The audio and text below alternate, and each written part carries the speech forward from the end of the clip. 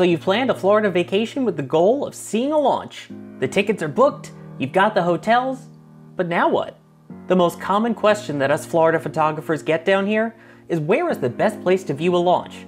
The answer? It depends.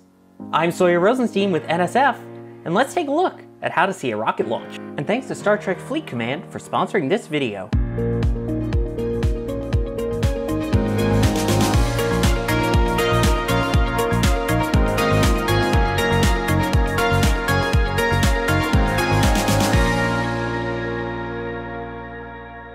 Now, while I dabble in a dozen or so launches a year, the real heroes are our photography team that are constantly out at the Cape capturing all these launch videos and photos. So who better to learn the best spots from than our amazing Cape photography team? We'll hear from Max Evans, but we'll start with Julia Bergeron. Let's start in Titusville along US 1 at Kirk Point and Rotary Parks. It has a great view just 12 miles away from pads 39A, which launches Falcon Heavy, and Falcon 9, 39B, which launches Artemis, Launch Complex 40, which is the single busiest launch pad in the world, launching Falcon 9, and Launch Complex 41, which belongs to ULA and currently launches Atlas and soon will launch Vulcan. Not only do you get a good view of the pads, but these locations are both open 24 hours and there are amenities nearby, such as restaurants and gas stations. These locations are both handicap accessible with sidewalks and boardwalk available. If you come at night, you'll even see a reflection on the water. You know I love the Space Shuttle Endeavour, but there's another vehicle that I love, Enterprise. And no, not just the Space Shuttle vehicle currently located in New York. I'm talking about the USS Enterprise from Star Trek. Now I can fly it and play as some of my favorite characters with the help of today's sponsor, Star Trek Fleet Command. Fleet Command is a free MMO that lets you customize your fleet and crew to dominate the galaxy. I love how much there is to explore in this open world. I mean, we're talking all the way from the Alpha to the Omega quadrants. It includes iconic characters from the original series, TNG, J.J. Abrams films, Discovery, and more. And of course, the ships. Besides Enterprise, you can build the Romulan Warbird and the Klingon Bird of Prey. Join millions of players where you can either be friend or foe in your journey across the galaxy. And there's new content each month. This month you get Fleet Commander Luther Sloan, Riker, Deanna, and a new feature called Wave Defense. You can play on desktop and mobile by scanning the QR code that you see on the screen right now. If you need to pause it, go right ahead. Otherwise, it's also in the link in the description below. Then, for new players, you can link your Scopely account, head to the website, and on the promo codes page, enter Warp Speed for a free new player content pack. Just remember, you have to be a new player and do so before level 10. Thanks again to Star Trek Fleet Command for sponsoring this video. Now let's live long and prosper back to our video. Another great option would be Playalinda Beach, which is part of the Canaveral National Seashore. It's only $20 to enter and the pass is valid for a whole week, if or when a launch scrubs. However, if you see yourself coming back here to visit more often, an annual pass might be worth investing into. It is also worth mentioning, however, that Playalinda is not always open. For viewing, launches have to take place with the normal operating hours, which can change based on the season. On top of that, while you're only three miles away from LC-39A in certain areas, that also means it's closed for certain launches, mainly NASA crewed missions. If you decide that this is where you want to go, we highly recommend checking online in advance to see if launch viewing is available. The good news though is, whether or not you get a launch, you still get a full beach day out of it. While sparse, it includes bathrooms, paved parking, vistas, and some boardwalks. And it's also wheelchair accessible. Next up on our list is the Max Brewer Bridge, located in Titusville. It's open 24 hours with paid parking lots and restrooms available. You can either opt to view low along the shoreline or get the full height advantage on top of the bridge. Just beware, as you can see from these pictures, it can get very crowded for Falcon Heavy and other high profile missions, with some people camping overnight. So depending on the mission, you might want to leave yourself with some extra time before launch to get there. It's also worth noting that for larger missions, there may be police restricting where you can and can't park outside of the designated lots. For those who use assistive devices, it can be a bit of a hike to the very top, but the view is absolutely worth it. Moving farther south to KARS Park, this location is part of the Kennedy Space Center recreation areas but it is available to the public for launches.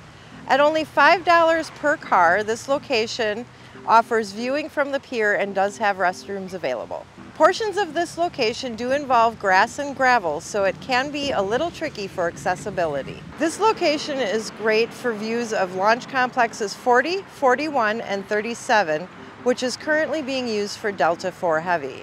This is a great location to watch launches that are going on a south or southeasterly trajectory. For certain missions, this is also a great place to see Falcon 9 and Falcon Heavy first stage boosters perform a return to launch site landing. This is also known as an RTLS.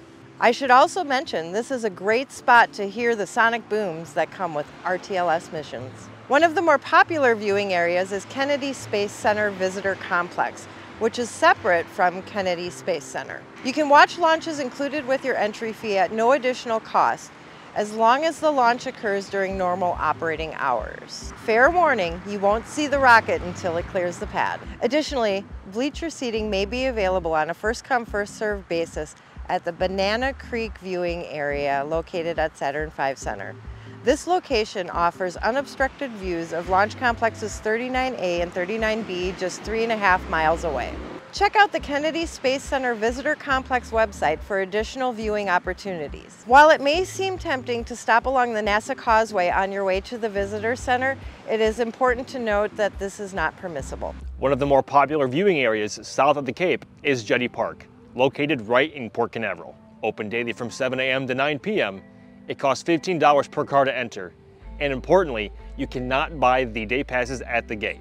They must be purchased online in advance. It has a direct view of Blue Origin's pad, LC-36. But you can also see launches from other pads, including newcomer Relativity Space. And if the trajectory is southbound, with good weather, you should have a clear view the entire way, all the way down the coast. This site has a lot of amenities. Camping is available with full beach access, picnic areas, and a pier which can be used for either launch viewing or fishing. Also, when you're lucky, when Falcon 9 boosters return from a drone ship landing, they enter right through the mouth of the port, so you would have a front row seat. If you don't feel like going into the park, there's an area near the port called the Cove that offers additional options. Full of restaurants, there are plenty of places to eat while waiting for a launch or a booster return. But what about perhaps watching from a boat? I mean, we are in Florida after all. The ocean is right over there, and there is water everywhere. Fear not, for our friends at Starfleet Tours can happily oblige. Prices vary based on the mission, but they offer you on-the-water launch viewing and at times an even more unique perspective of RTLS landings. It must be said though that they are unfortunately not available for every single launch.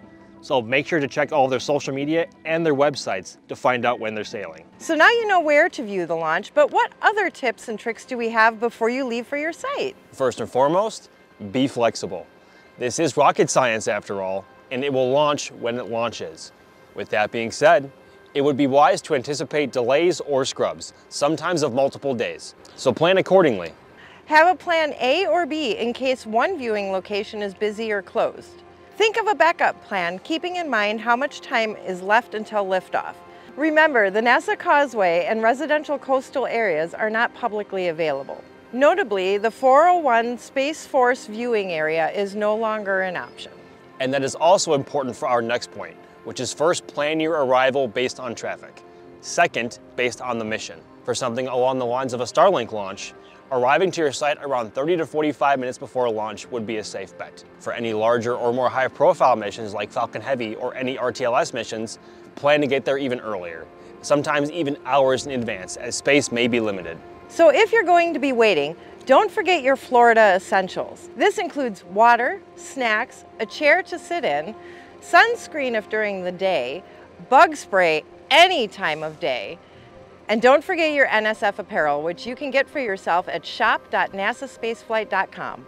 And finally, make sure you tune in into the NSF live stream to hear the countdown to launch and check all of our social media platforms to check if there are any updates to a new launch time or a scrub. We have engine startup and liftoff. And the most important tip is just to enjoy the countdown and the beautiful chaos of a rocket leaving Earth.